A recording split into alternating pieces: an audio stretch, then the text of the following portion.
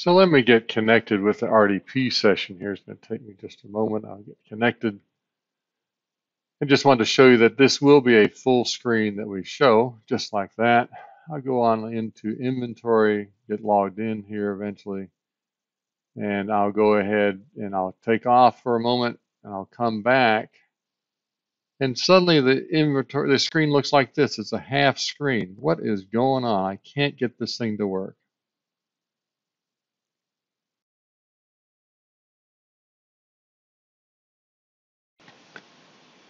So to solve the problem, I've made a Splashtop SOS connection to the workstation, to the handheld device.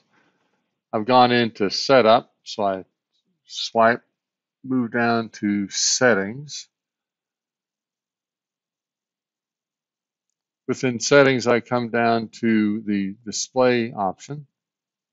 Then I hit advanced at the bottom down here. I scoot down, auto rotate is off on my system, but you would have found it to be on. You want it off. So you turn it off, then you come out and exit and go back in, and you'll find that that solves this issue.